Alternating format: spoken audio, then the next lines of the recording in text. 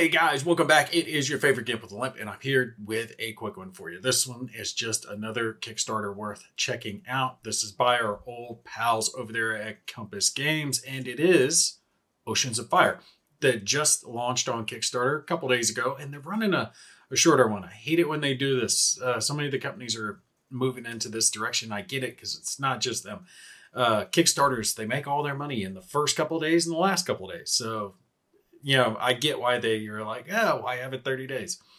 Uh, but I hate uh, I hate shorter ones. I always like the longer ones. That's me personally. Anyway, this one is a strategic level game uh, set in the Pacific theater of World War II.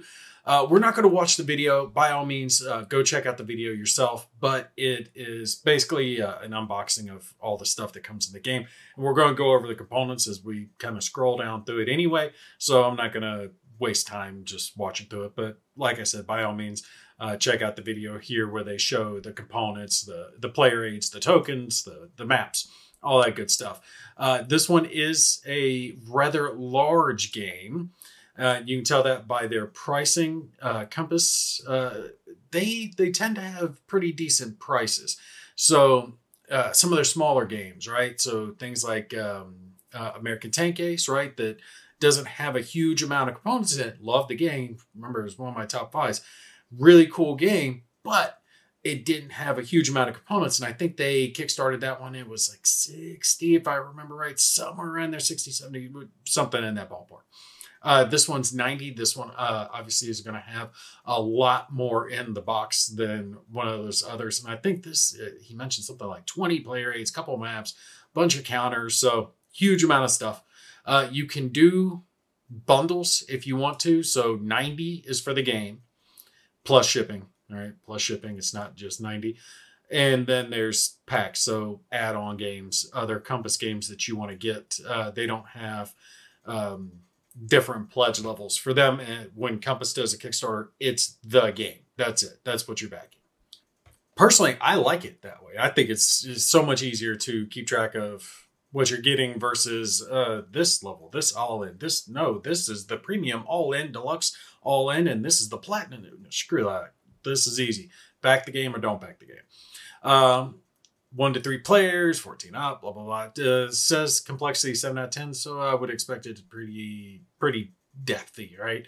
Uh, it's Pacific games, so Pacific games tend to have a lot more complexity to them, and solitaire ability is pretty high shows that is an area movement strategic simulation of the Pacific Theater of Operations World War II. Players command the Japanese, American, and British Commonwealth naval, air, and ground forces that fought in the Pacific uh, Southeast Asia.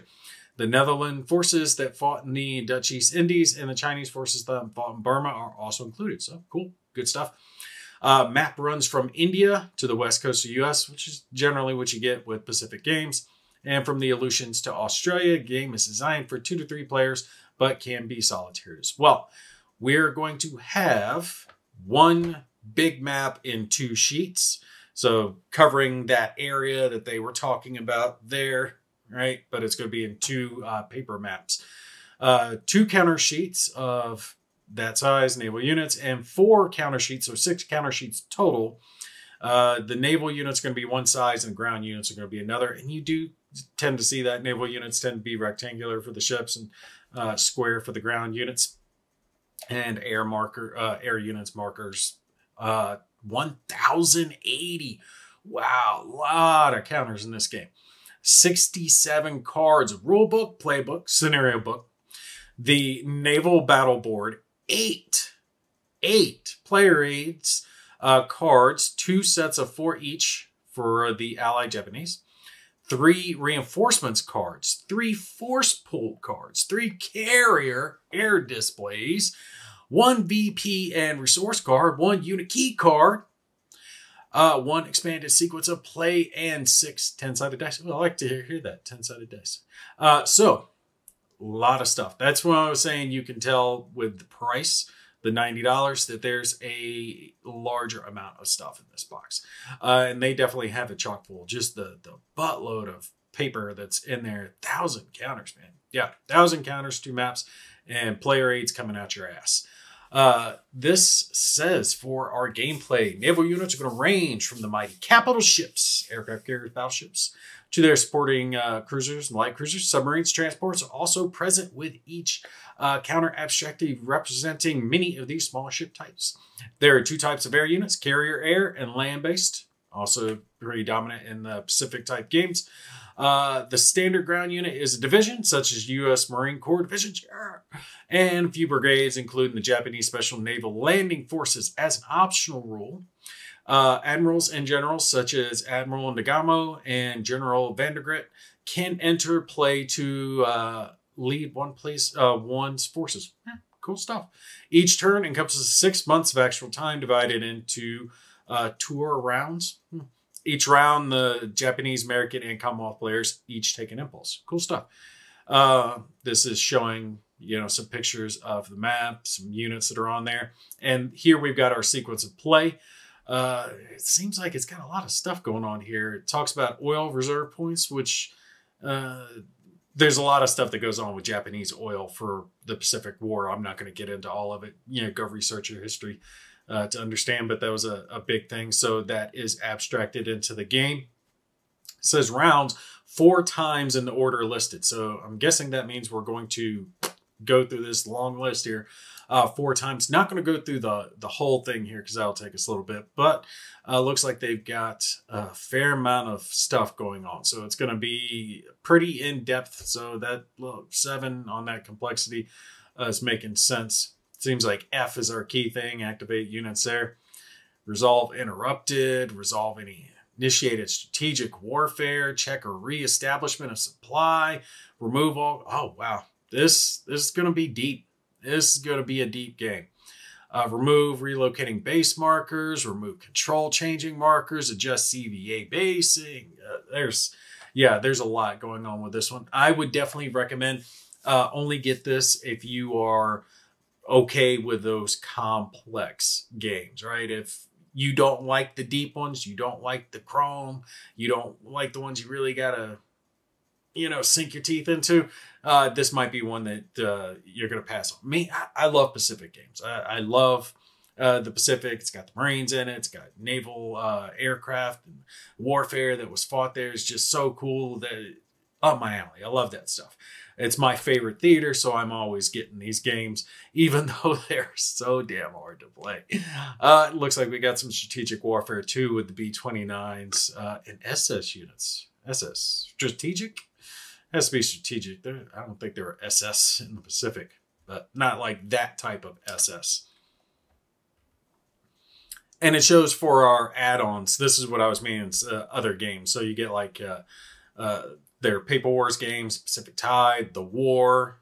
There's uh, The War, Europe, and like The War of the Pacific. So if you want to get into a bunch of Pacific level games, you can get into that.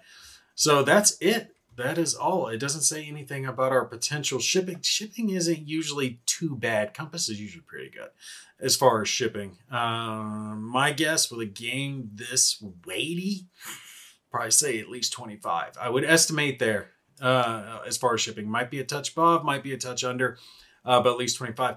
Not a whole lot of backers yet on this one. I don't think they got the word out as much as they probably uh, should have, but I'm trying to help them out, get the, the word out here, let people know about it. If you were into Pacific uh, games, like your war games, definitely check this one out. I like the look of the map, and I know I pulled it up somewhere. Oh, here is uh, an example of it. This isn't the whole map. I think this is one of the map sheets. So, like I was saying, let's, uh, scroll it in a little bit here so we can have a better look how it goes from India here all the way to the West Coast.